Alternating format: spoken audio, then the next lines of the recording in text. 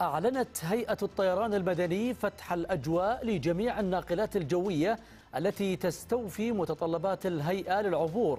يأتي ذلك القرار بموجب اتفاقية شيكاغو 1944 والتي تقضي عدم التمييز بين الطائرات المستخدمة في الملاحة الجوية الدولية واستكمالا للجهود الرامية لترسيخ مكانة المملكة كمنصة عالمية تربط القارات الثلاث وتعزيزا للربط الجوي الدولي.